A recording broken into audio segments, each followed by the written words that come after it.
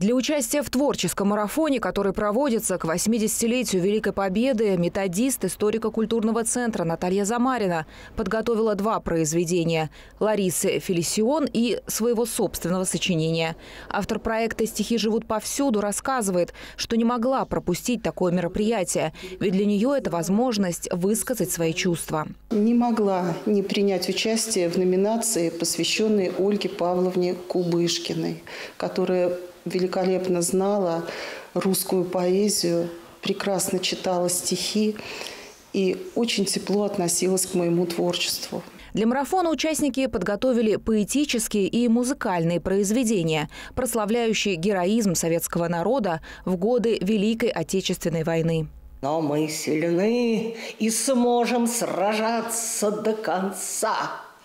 Кирка с лопатой тоже – оружие бойца. Многие конкурсанты – постоянные участники различных творческих мероприятий Ленинского городского округа. И в репертуаре каждого есть произведение на тему Великой Отечественной войны.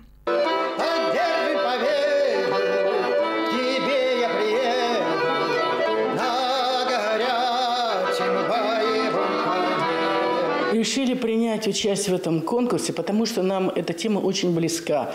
У меня отец фронтовик с наградами, с э, орденами, с медалями. Каждая семья нашей России связана с этим праздником. И мы что можем, несем людям, напоминаем и чтим своих предков.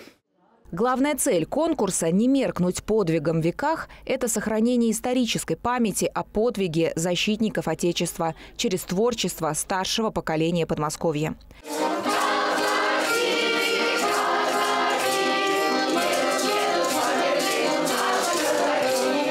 Наталья Буслаева, Сергей Ларин, Ольга Садовская, Видное ТВ.